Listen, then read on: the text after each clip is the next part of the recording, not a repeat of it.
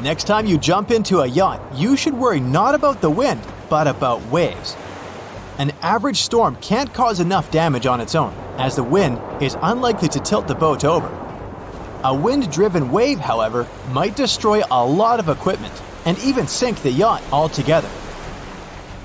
Don't worry though, it's not that common to come across a bad storm, or worse, a hurricane, while at sea. You'd really have to be looking for it. Most people with over 20 years worth of experience at sea have never encountered extreme weather. Sure, the word yacht can sound a bit luxurious, but in some parts of the world, it's not that expensive. Like in Northern Europe, for example, you can purchase a ready-to-sail ship for around ten to twenty thousand dollars. It might need a bit of fixing, but it won't be a bad investment. If you do plan on sailing to Europe, you might want to skip the Mediterranean, since it's a pretty lousy region for sailing. You'll either have too much wind or no wind at all, which is the worst kind of weather for sailors. The perfect conditions are created by relatively strong and steady winds. You'll find those in the Caribbean. And don't worry about the size of your ship, it's really not that important. You'll just need to be well prepared. You can really travel around the world in a 30 foot long yacht if you're brave enough. In fact, one of the smallest boats to ever sail around the world was just 21 feet. Alessandro Di Benedetto circumnavigated the world in his little sailboat. It took him 268 days and 19 hours. What's even more impressive is that his boat was nearly destroyed near Cape Horn, but he managed to fix it and get back to France to win the world record.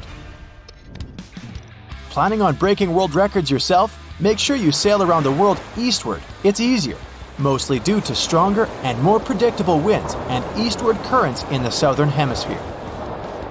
Only five existing world records were obtained when travelers used the westward route, and since 2010, no one has set a record while going in that direction. There's no need to start learning astronavigation, nobody uses it these days. It's more of a nice to have. Experienced sailors don't rely on space bodies to orient themselves, what people do use now for recreational navigation is an iPad. Even Airbus and Boeing pilots use iPads when flying. Speaking of how prepared you should be, brace yourself for a lot of boredom. We've all heard stories about wonderful sunrises and sunsets, swimming with dolphins and tuna. But you might have nothing to do for weeks. You'll just need to fix the tack every now and then, and that's it. As for the remaining 23 hours, 59 minutes, and 30 seconds of the day, no tasks. Bring a board game or a lot of books, will you? You might not be able to catch up with your friends back at home either. The internet at sea is both really slow and expensive. Slow as in it's going to take about a half an hour to download a small picture. Expensive as in a gigabyte might cost up to several thousand dollars. It's also best if you leave your pets at home. Dogs in particular don't like it at sea too much. Especially large dogs or those who weren't accustomed to that environment early on in their lives. You won't be able to easily toilet train a dog on board either. Cats, on the other hand, are a lot easier to take care of, so they make better sailors. Don't go heavy on the bananas if you're heading for the ocean either, as they're seen as bad luck, especially on fishing boats. Some sailors say fish won't bite a hook if bananas are somewhere on board. Cats are, again, absolutely okay to take on a boat since they're thought to be a sign of good luck. It probably has more to do with the fact that they keep rats away. Let's say you want to cross the ocean. Will there be any stops on the way? If not, you won't want to. Sure, you can stop in the middle of the ocean and take a break, but why would you want that? There aren't a lot of islands when you cross the oceans, and it takes weeks to go from one piece of land to another. No matter where your yacht is, it has to obey the laws of its country of registration. As such, you have to make sure that everything you bring on board complies with your national law. Plus, you have to register everything you have when crossing sea borders. If Antarctica is on your must see list, you must know that you might not get there on a non metallic boat. The hull must be made of either steel or aluminum to withstand harsh weather conditions. You might find birds in the ocean. They don't just pass by, but actually live there. Most of them choose to sit on deck to rest when they see a boat. That's because they may have been in continuous flight for months at a time. If you're not planning on cleaning up after them, it's best you don't allow them to land on your boat. It depends on how bored you'll get, I guess. On the fun side, there are a lot of small islands you can only check out by boat. They are otherwise off limits to tourists. You'll be able to see exotic plants and animal species, unique landscapes, and secluded villages. One knot is equal to one nautical mile per hour, or approximately 1.151 miles per hour.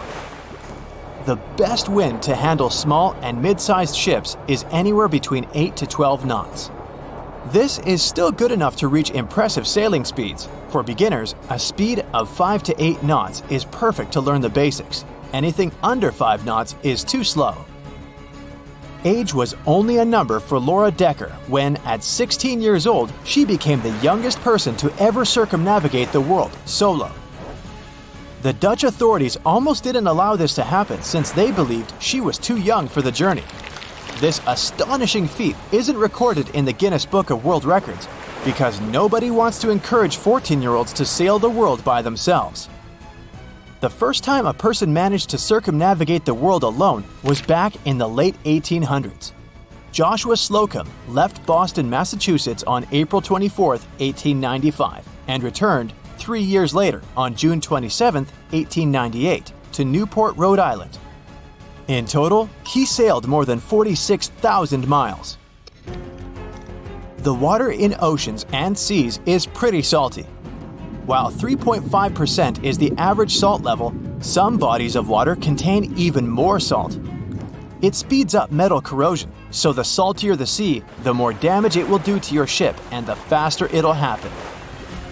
The saltiest waters on Earth are in the Mediterranean Sea, which has roughly 3.8% salinity. For less salty water, head towards the poles. The fastest sailor of all time is Paul Larsen from Australia. He broke the world record at 65.45 knots. His records are for the sailing speed at a distance of 0.3 miles, also called outright, and for the fastest nautical mile. No maritime story would be complete without that of Violet Jessop, the nurse that survived all three disasters aboard the sister ships the Titanic, the Britannic, and Olympic. She worked on ships to support her family well into her 60s and traveled all over the world. After finishing her voyages, she spent the rest of her life in Suffolk, England. There are no boats with an unlimited lifespan. They all have to retire at some point.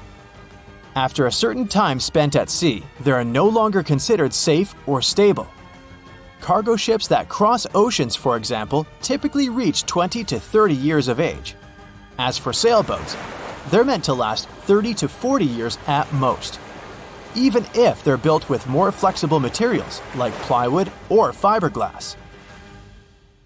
That's it for today. So hey, if you pacified your curiosity, then give the video a like and share it with your friends. Or if you want more, just click on these videos and stay on the bright side.